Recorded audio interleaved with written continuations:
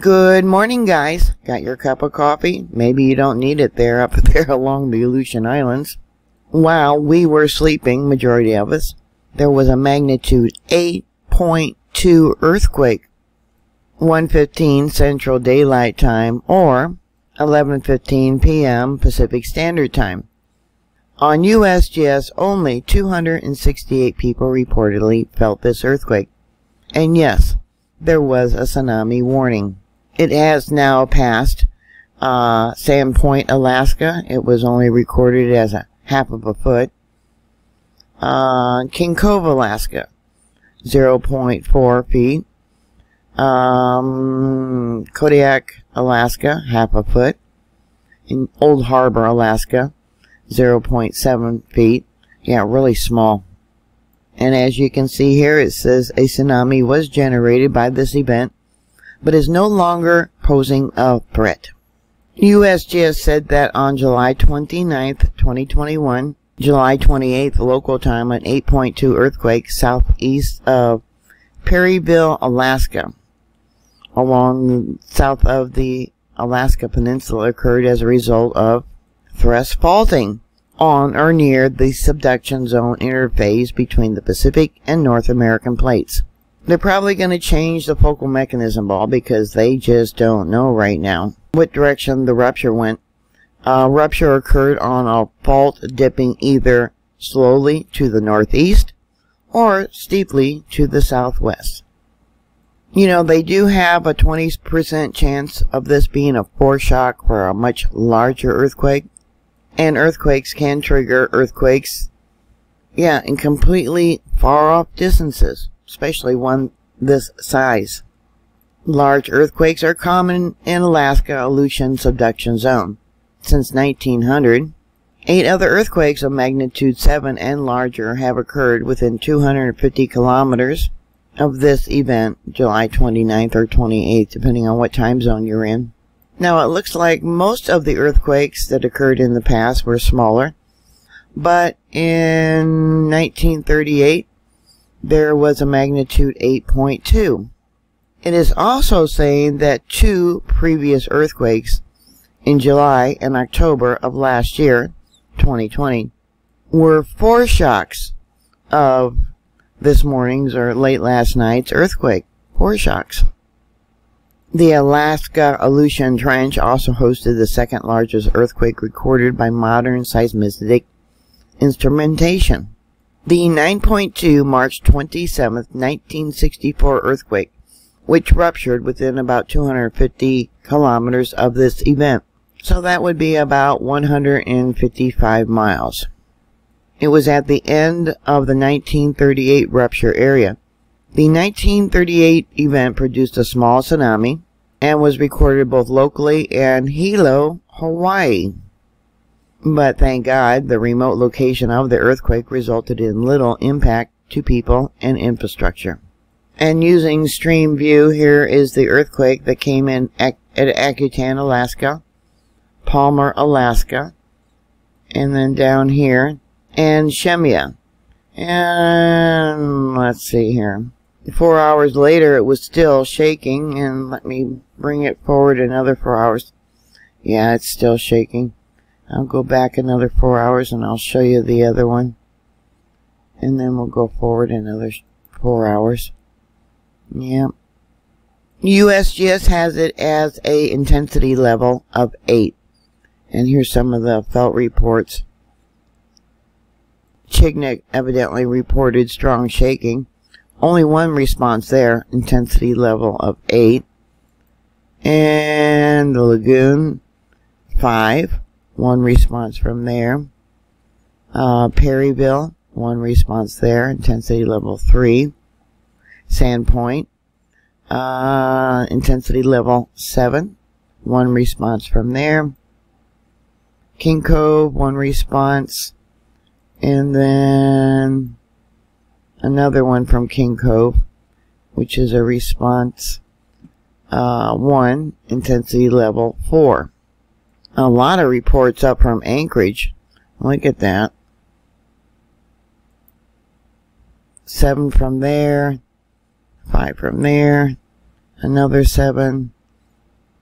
Yeah, a lot of reports from Anchorage. Copper Center had one response, and we got some way over here. Um, Haines, it looks like, one response. I'll bring it out so you can see the location, British Columbia. We got one up north here too, in the Yukon. Bethel, two responses from there. And another one from there. Yeah, it was felt over a very large area. Can you see those light blue lines? Now, this earthquake was deep, 32.2 kilometers in depth, so that would be about 20 miles below sea level. All earthquakes are measured from sea level. Definitely subduction. You can see the first wave of the of the earthquake. Um, yeah, the uh, fault line pressure definitely went going towards uh, the north. Tension, um, yeah, straight up. You can see how the fault line moved here. As the Pacific plate subducted, yeah, under um, the North American plate, because the North American plate curves around. So, using Google Earth, here's the location of that earthquake.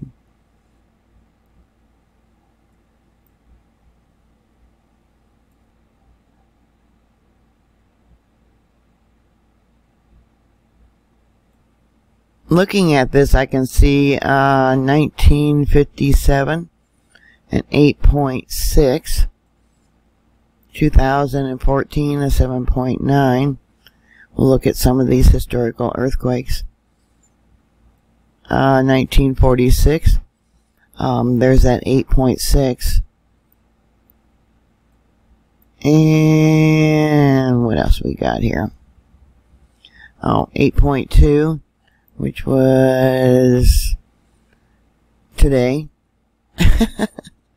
okay, not far from um, these other ones, these other historical earthquakes. 2016 a 7.1, uh, 1999 at 8.0, uh, 1958 a 7.9, 2018 at 7.1 and going down south towards the uh, Juan de Fuca fault line 1949 at 8.1 so so far according to USGS there's been 55 earthquakes on this map of a magnitude 2.5 or greater. If I zoom in closer it's 52 for all earthquakes. They're evidently not uh, putting up the smaller earthquakes. Not surprised. Swarm program, here's the earthquake at all three of those monitors. And let's take a look at the spectrogram. Let's see. Alright, let's try and find the exact time that the earthquake started. 617 universal time. Yep. Oh, and look at that. Yeah, you can see the subduction was going on movement was going on prior to that earthquake. Look at the line of melt. You know, you, you, you have melt as the ground subsides, it heats up. Um, this very well could trigger earthquakes, like I said, in other locations, and volcanic activity. Yep. And as you can see, the shaking continued for a very, very long time. Hours. I would not be one bit surprised if they don't downgrade this earthquake. This monitor here comes from Palmer, Alaska. And let's bring it down to what it was showing when I pulled the files. Alright. Slowly going back up.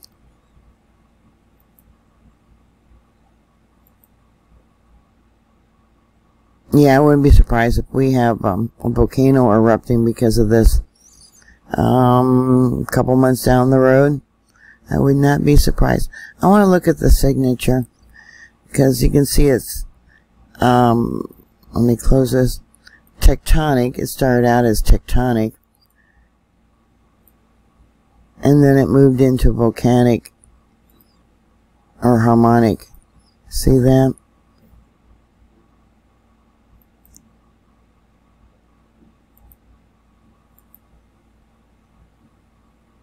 And this here is the monitor from Shemya.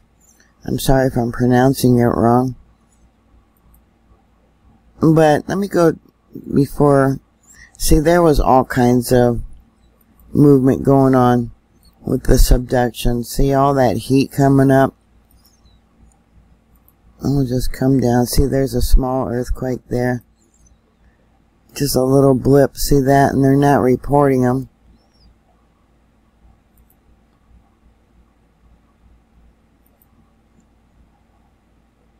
And let's go to when I was pulling the files. Right there. And then we got an earthquake right there. We got another small one there. Another small one there. Um, let's go to the most recent one. Alright, at 12.54 and 50 seconds Universal Time. Yeah, see, they're not reporting it. And if I pull it down, you can see another small one several. See that? And we'll go to this one right here at 1236. And that's for the whole peninsula. They're not reporting it. Nope. You know darn well in this area of the 8.1 there's been smaller earthquakes. Uh, let me pull, where's that one at? Okay, they, they are starting to do that now. 2.7, 2.8, uh, the most recent, a 4.4. And they have 56 now marked on this area right here of the um, USGS map. Oh, I'm sure it shook up Yellowstone Caldera. I'll have to do a report on that too in a little while. Here on uh, NOAA.gov, the National Buoy Center, you can see we got buoys going off all the way around and going down here to Coos Bay, Coos Bay, Oregon. And then, yeah, I wonder what's going on over here on the East Coast. Um, I'm not sure where that one's at. Let me zoom in if I can. Oh, the Canary Islands. Okay.